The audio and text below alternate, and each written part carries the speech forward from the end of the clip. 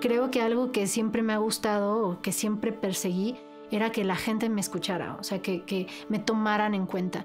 Y probablemente viene también del el concepto de la infancia, ¿no? Donde los niños, no, las niñas, los niños no tienen a veces ni voz ni voto de las cosas que pasan. Y son quienes están sufriendo más, por ejemplo. Entonces, creo que como crecí un poco sintiendo que nadie escuchaba lo que mi hermana y yo queríamos o cómo nos sentíamos, creo que crecí a ser una persona que necesita expresarse y que me escuchen. Soy Denise Gutiérrez, soy cantante y yo también soy mexicana.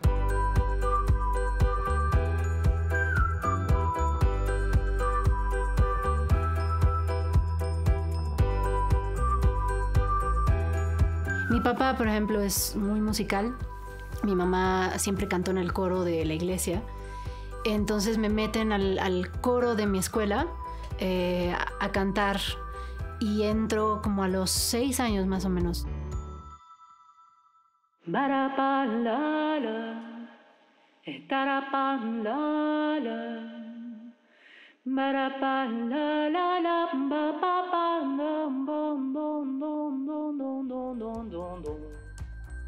Creo que me hicieron cantar las mañanitas, como para ver cómo cantaba, y ya desde entonces he cantado.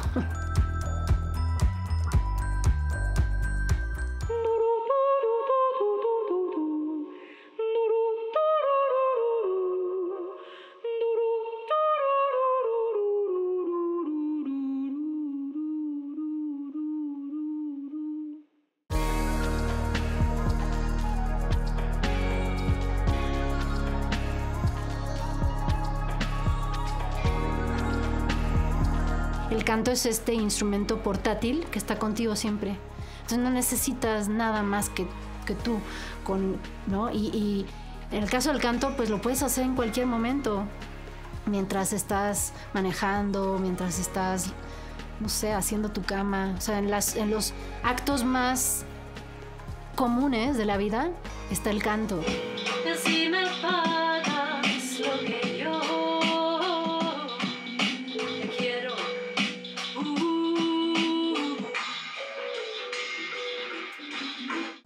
Cuando encuentras una pasión, y eso no nada más en la música, cualquiera, cualquier profesión, ¿no?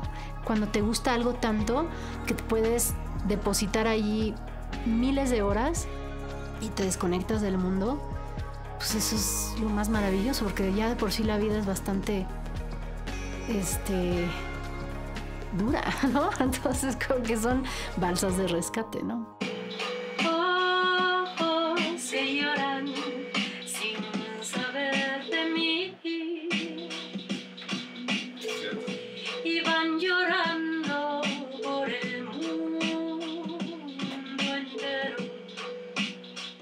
Creo que desde, muy niña perdí el miedo a cantar ante gente, ¿sabes?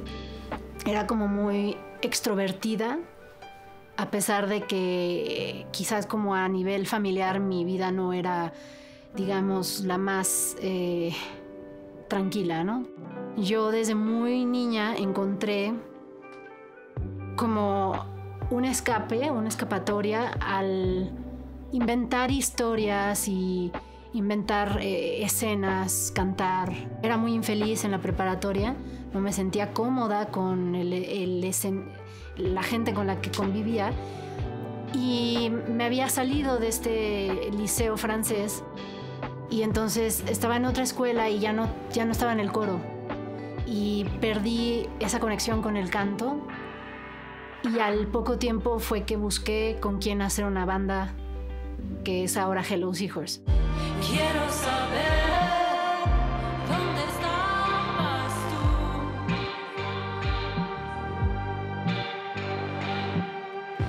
Quiero saber dónde estabas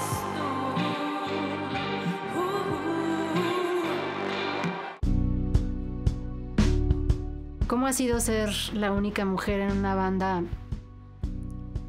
Al principio no lo veía como tal, eh, y tengo que ser muy sincera que hace no mucho tiempo empecé a dar cuenta de las dinámicas. Hace no mucho que, me di cuenta que las mujeres tenemos que trabajar tres veces más.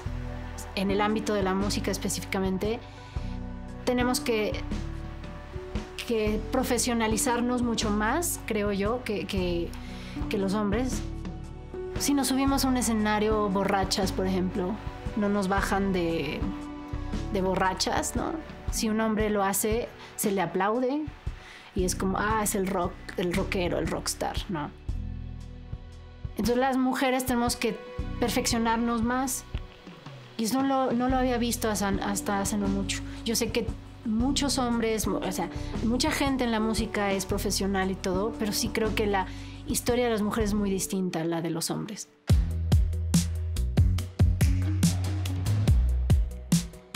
Claramente hay una cultura que además, eh, o digamos expresiones, por ejemplo la música, eh, géneros musicales que llevan eh, desarrollándose a lo largo de muchísimos años, ¿no? Pero también la música que se hace ahora, las personas que estamos ahorita entre 20, 30, 40 y que hacemos otro tipo de música también es muy valiosa y tiene que entrar allí. Entonces me gusta pensar que soy parte de un movimiento de otras opciones. La, la palabra alternativa es otras opciones. Y entonces eso me emociona mucho. El año pasado, por ejemplo, que nos nominaron ¿no? a Hello Seahorse por el disco estimulante en el, eh, la categoría de, de, álbum alternativo, ¿no? Está bien. Siempre vemos raros y entonces nos tienen que meter a los raros en un lugar y me gusta ser parte de eso, la verdad. Eh, una nominación, por ejemplo, en el caso de un Grammy, ¿no? El Grammy latino que, por ejemplo, Hello Seahorse ya ha sido nominado cuatro, cuatro veces. Eso es eh, increíble porque además estamos hablando de un foco que hay ¿no? hacia las, los nominados, las nominadas en los Grammys. Y entonces nosotros representamos, por ejemplo, a México de un montón de música que ya se hace.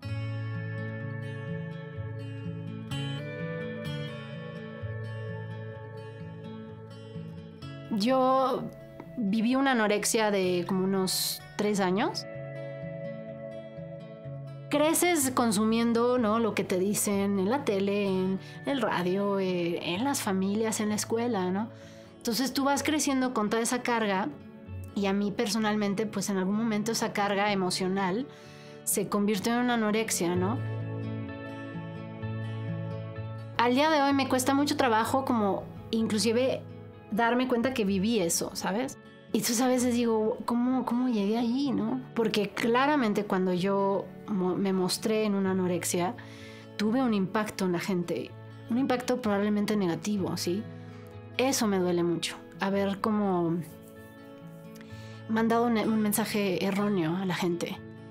Y hoy en día busco eh, compartir otro mensaje así, eh, como de otra, como de fuerza.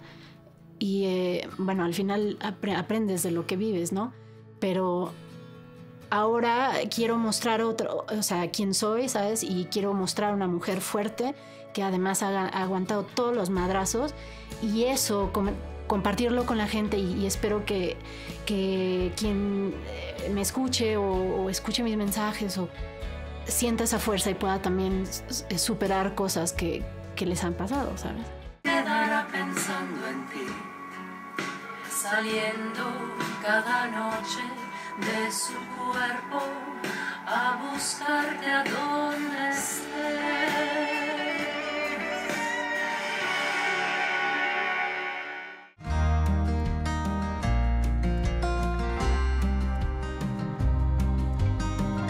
La idea del, éxito es algo que siento que es inalcanzable. Es como una. Es como un globo que lo agarras y se te esfuma y lo agarras. o como que quieres agarrar las nubes y se te van entre los dedos.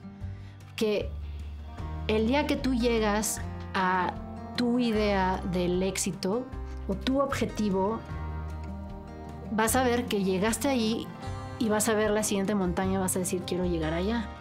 En el caso, por ejemplo, de las mujeres que todavía hoy parece que cuando cumples 40, 50, por ejemplo en el rock, ya eres desechable, ¿no? En muchos ámbitos del, del, arte, muchas veces las personas somos desechables a partir de cierta edad, ¿no? Entonces, creo yo que esos conceptos son erróneos y que podemos aspirar a, eh, por ejemplo, el caso del canto, que tu voz dure hasta que te deshagas, pues, ¿no?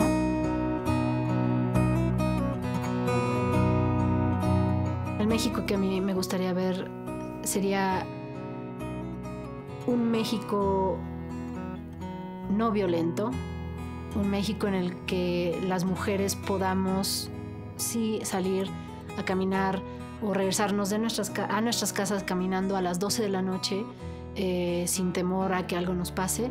Eh, un México donde la música sea una necesidad absoluta. El arte está siempre en los últimos lugares de las necesidades y yo creo que es todo lo contrario. Eh, la, expresión artística la necesitamos todos, todo el tiempo, y más la música, que es eh, lo que más consumimos, ¿no? En todas partes, en la cocina, en el, tráfico, en, la, en, el cuarto, en la fiesta, ¿no? Me parece que México es un país que lo tiene todo y que ha tenido que navegar, ¿no? A través de muchas circunstancias y mucha gente que no quiere lo mejor para este país, ¿no? Pero al mismo tiempo hay muchísima gente que queremos lo mejor para este país y que queremos que México suene a nivel eh, mundial como un oasis, porque es un oasis, o sea, tenemos todo. México es mi casa, y nada, es la casa que me ha visto crecer y que también me ha dado la oportunidad de convertirme en la persona que soy.